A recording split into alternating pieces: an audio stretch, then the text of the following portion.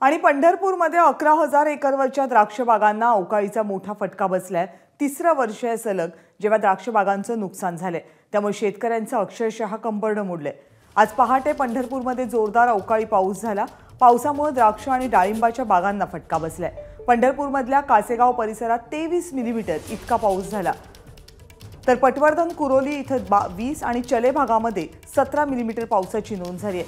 या पावसामुळे फ्लोरिंगमध्ये असलेल्या द्राक्ष बागांचं नुकसान झालंय.